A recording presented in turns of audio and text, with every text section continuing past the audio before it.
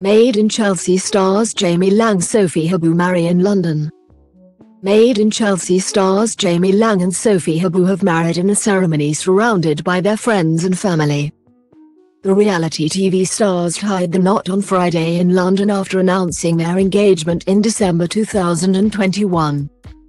They continued the celebrations at Stanley's restaurant in Chelsea, with Laing, 34, posting an image of the three-course menu on his Instagram story.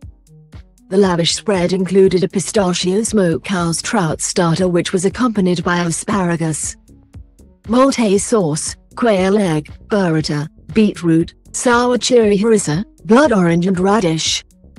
Their main was a capers omelette steak with an array of sides, including squash, kale and hazelnut roasted cod, and wedding cake to finish. He also shared a photo of some of his wedding guests sitting outside at the venue enjoying drinks.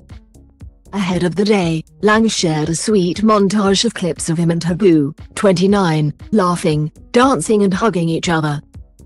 Alongside the post, he wrote, I get to marry my best mate this week and I cannot wait. Habboo also kept her more than 500, 000 Instagram followers up to date on her wedding preparations ahead of the big day.